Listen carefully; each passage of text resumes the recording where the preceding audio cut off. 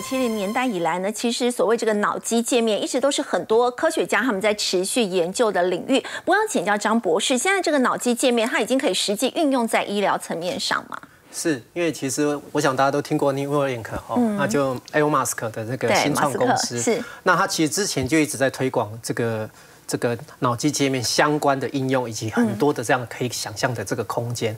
那其实呢，他之前一直宣告说，哎，今年今年一定就可以通过 FDA 的这个允许，我可以开始正式的做人这个人体的试验。那终于在前几天哦，其实 Neuralink 正式的 announce 出来，哦，说已经得到这个 FDA 的许可了。是是是。那所以呢，FDA 先前其实对它有一些问题，那其实也可以知道说，其实譬如说它有一些，譬如说在设备里面一定有电源、有电池的这个部分，然后呢，因为它这个晶片很多这个连接跟大脑这个讯号的这个连接的这个电线，万一如果在脑部里面发生移动怎么办？那这些都是个大问题。那还有假设今天病患。不需要再用这个晶片把它拿下来取出来，对，总不能说就这样子就脑就受伤或者是脑死这样子。所以呢，其实这其实对他公司而言，其实是一个很大的一个进展跟一个进步。那另外一个部分来讲，其实我们可以来看，除了 Neuralink 的这样的一个在医疗上的新创以外呢，其实还有很多可以做的事情。那我们这边举一个例子，它其实这个是哥伦比亚大学的一个团队。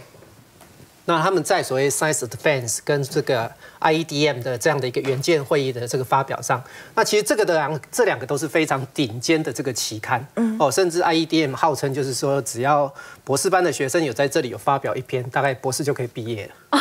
对，所以它其实是真的是还蛮顶尖的这样的一个期刊。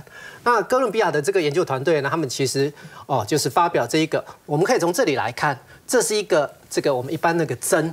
打针的那个针头，打针的针头，打针的这个针头里面有这小小的一颗，就是这一个吗？对，小小的这一颗，其实它就是一颗晶片，而且是整个系统级已经封装好的这个晶片，一个微型晶片。对，那它的大小，其实我们从这边来看，这里哈，它比较精准的这个尺寸大小，大概都是三百多的微米。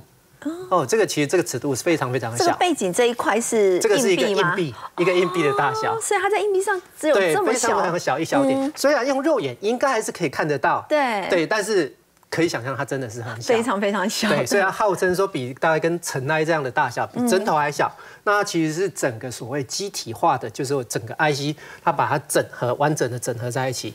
那它呢，它是呃可以透过这个。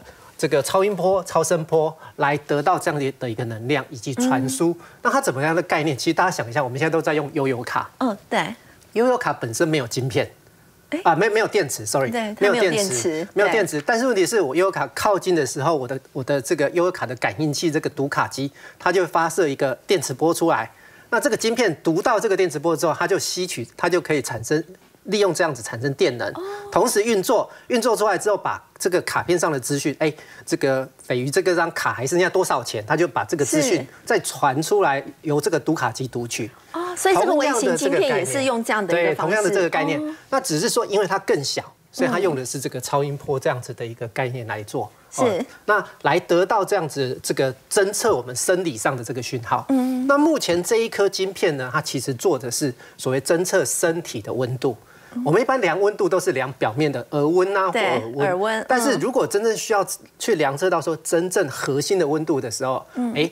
那他们就可以医疗上医生可能就可以做这样子的一个呃方式来得到最精准的这样的一个温度。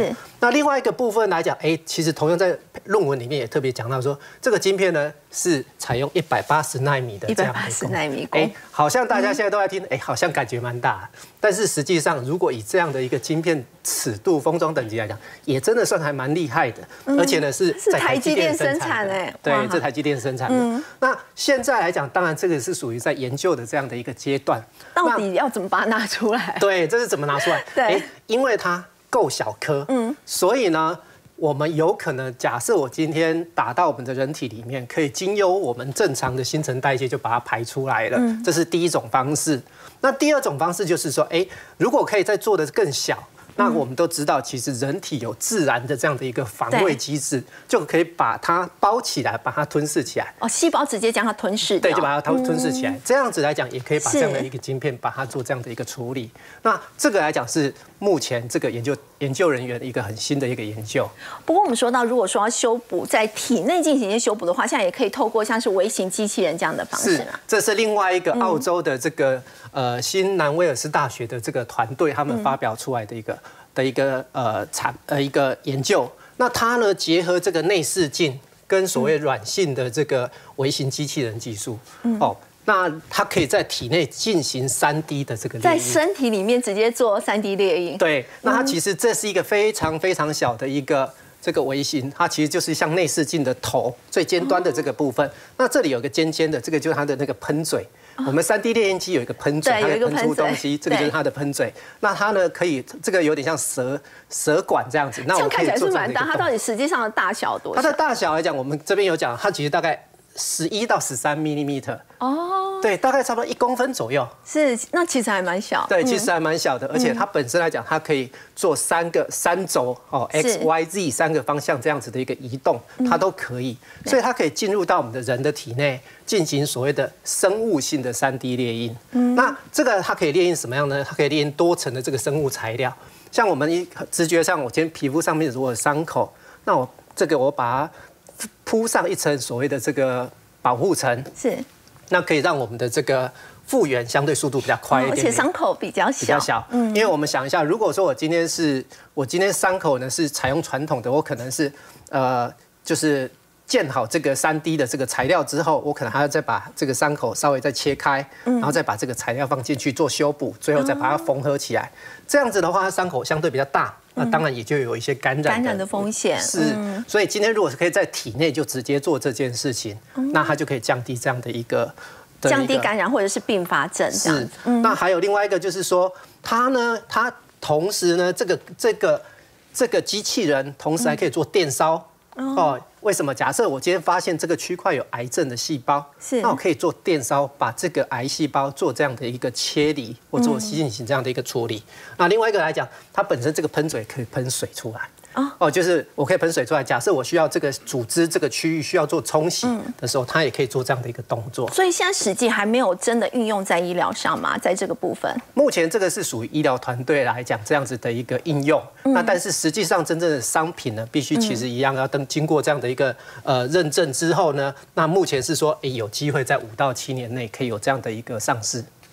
好，我们先休息一下，稍后要来了解的是呢，台股现在是呈现了往上是有压力，但是往下感觉又有支撑，在这时间点呢，这个下半年投资的主流会是什么呢？先休息一下，稍后来了解。